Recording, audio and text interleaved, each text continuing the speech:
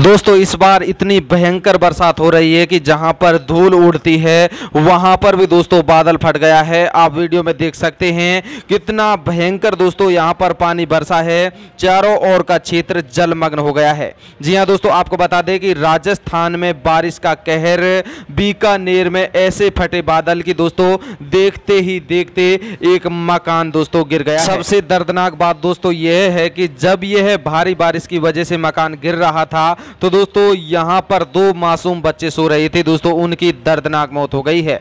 दोस्तों, भारत का रेगिस्तान कहे जाने वाले राजस्थान में पिछले दो दिनों से भयंकर बारिश का दौर जारी है। मारूधरा के सबसे गर्म जिला के बीकानेर में भी, दोस्तों, पिछले 24 घंटों में भारी बारिश रिकॉर्ड की गई है। भारी बारिश के चलते बीकानेर में एक मकान का छज्जा भर भरा कर गिर गया, जिससे उसके नीचे सो रहे दो किशोरों की मौके पर ही मौत हो गई। आसपास के लोगों ने इसकी सूचना पुलिस पुलिस को दी। पुलिस मौके पर पहुँची और मलबे से जब दोनों के शव निकाले गए तो दोस्तों तब तक उनकी मौत हो चुकी थी। वहीं दोस्तों आपको बता दें कि यह जो मकान गिरा था, ये दोस्तों कच्चा मकान मौसम विज्ञान केंद्र जयपुर के अनुसार पूर्वी राजस्थान के जयपुर, अजमेर, टोंक, भीलवाड़ा, राजसमंद जिलों में कहीं कहीं भारी बरसात के साथ लगभग 50 से 60 किलोमीटर प्रति घंटे की रफ्तार से हवा चल सकती है। जबकि झुंझुनू, सीकर, अलवार, बांसवाड़ा, भरतपुर, धौलपुर, करौली, सवाई माधोपुर, चित्तौड़गढ़, उदयपुर और डूंगरपुर जिलों में तेज हवाओं के साथ हल्की से मध्यम बरसात का येलो अलर्ट जारी किया गया है।